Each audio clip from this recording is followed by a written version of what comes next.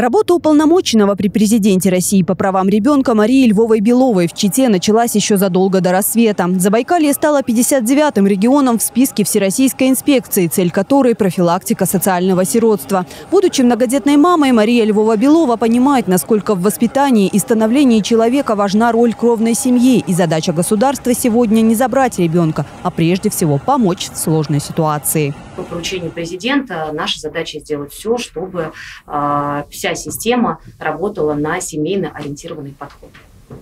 Самое главное, чтобы детей в детских учреждениях было как можно меньше.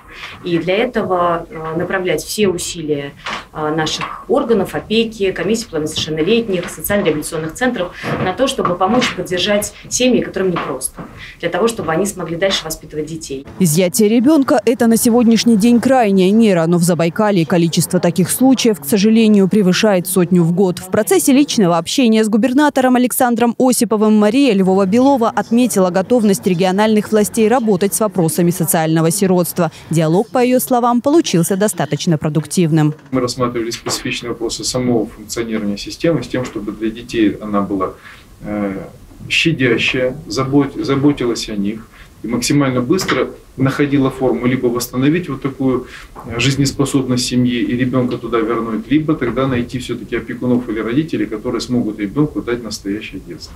В программе сегодняшнего визита в Читу встречи с многодетными семьями, личный прием граждан и посещение социальных и образовательных объектов. Одной из точек, которой Забайкалью стоит гордиться, станет Лиловый дом – первый в России центр дневной занятости для детей и подростков с ограниченными возможностями здоровья. Мама часто 24 на 7 находится с малышом, синдром, и это приводит к существенному выгоранию эмоциональному. И часто, к сожалению, дети попадают потом а, в дома-интернаты.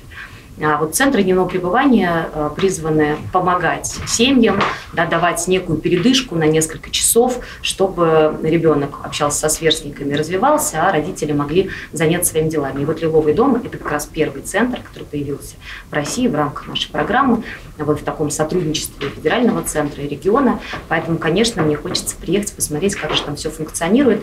Целом Мария Львова-Белова отметила, в Забайкалье к понятию детства относятся серьезно. Растет количество секций и кружков, проводится ремонт школ и дошкольных учреждений. Поэтому у детского омбудсмена есть надежда и на то, что с вопросами социального сиротства край в скором времени тоже справится.